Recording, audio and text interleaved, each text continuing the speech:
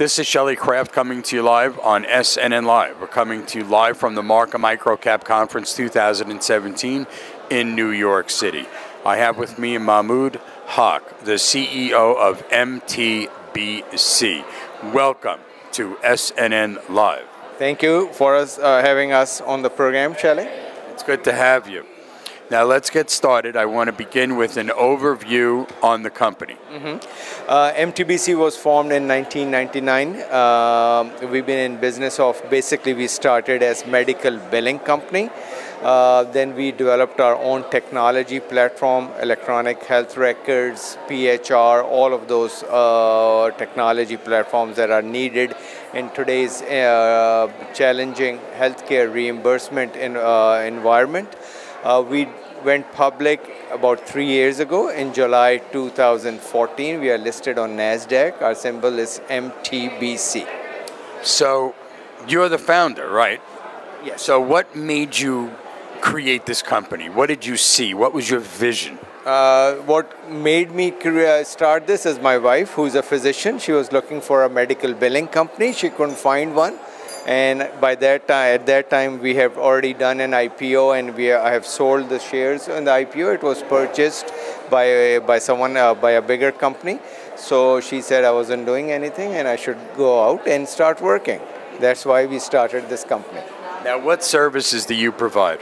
We started as I mentioned we started with providing medical billing services initially and now we have a complete technology platform so where do you go from here? What are some of your new products? Uh, the new product that we announced about a month ago is called Talk EHR. It's a next generation of the electronic health records, which basically you'll be able to talk to the EHR just like just like other technology, and it will respond to your uh, commands, and it's going to be a smart platform.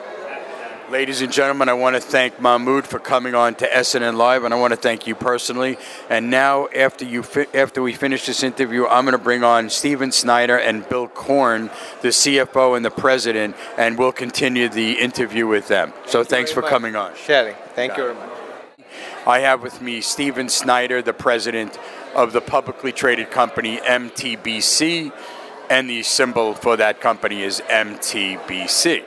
Steve, welcome to SNN Live. Thanks, Shelly. Pleasure to be here. It's good to have you. Now, I just finished with Mahmud, the founder and CEO of the company, and you're here to tell us a little bit more about MTBC. So I want to start with asking you what your role in the company is and what your what you do. Absolutely. Uh, again, Steve Snyder. I'm the president of the company, and uh, work with a phenomenal team helping to grow the company.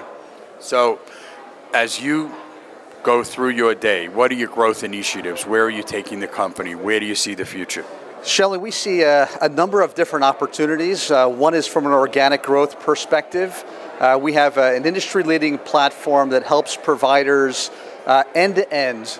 It allows them, uh, in our target market of small to medium sized practices, it allows them to earn more, reduce their expenses, and streamline workflows and we're building partnerships with leading companies throughout the industry.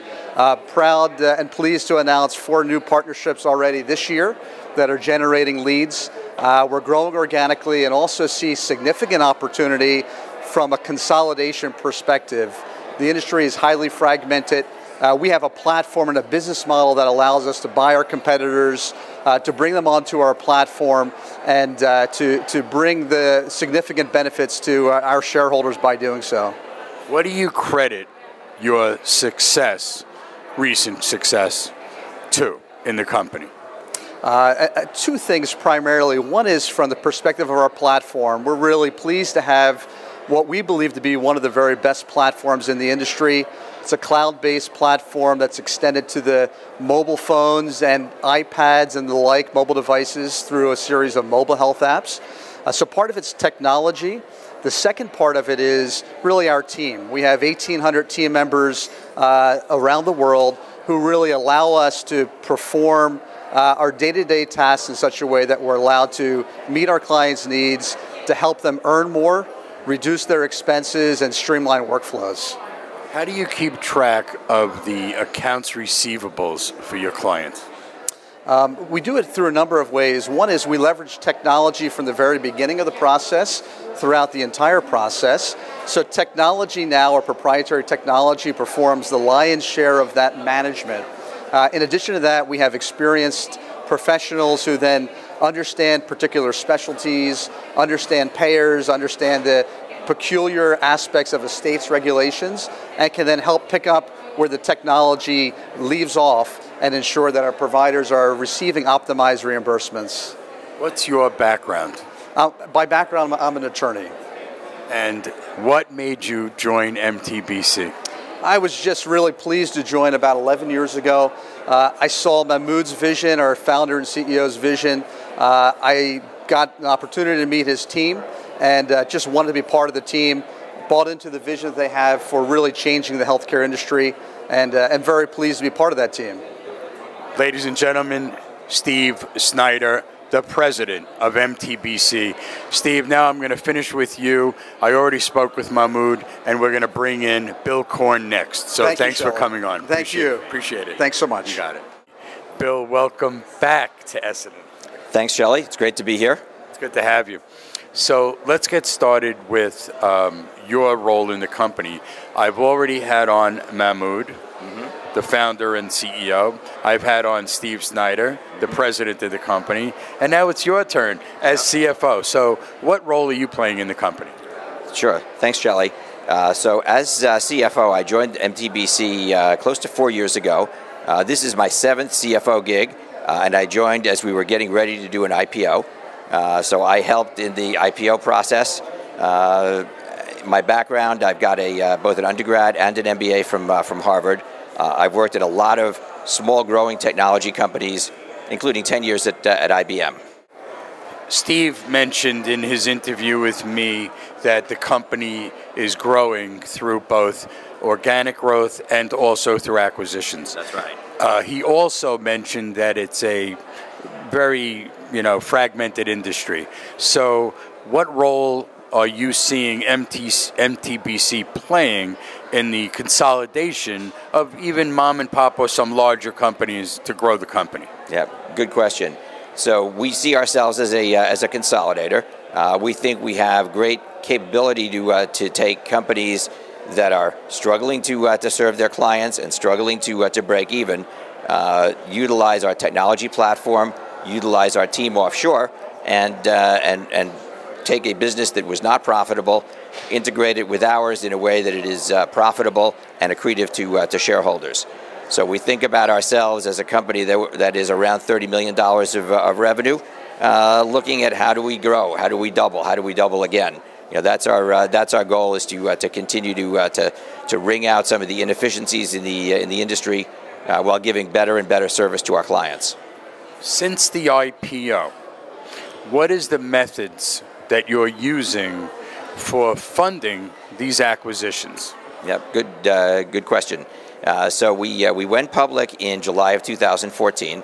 Uh, our common stock trades on, uh, on NASDAQ, uh, as you mentioned before. Symbol is MTBC. Our belief is that, the, is that over time, the, as, as we continue to grow and demonstrate profits, it'll be useful to, to think about using that stock in, in acquisitions or for funding of acquisitions. But today, we're not so excited about selling a lot of stock at, uh, at these prices. In fact, we did uh, share buybacks last year. Uh, so we have a second publicly traded stock. Uh, the symbol is MTBCP. Uh, that also trades on, uh, on NASDAQ. it went out initially in November of 2015. we sold a little more in the middle of, of 2016. and we see this, this preferred stock as a good funding source for, for growth. the preferred stock, which I'm not going to give you all the details about. You can certainly read more about it on our on our website. Uh, but it is not convertible into uh, to common stock. Uh, it pays a uh, an 11% dividend and pays the dividends monthly.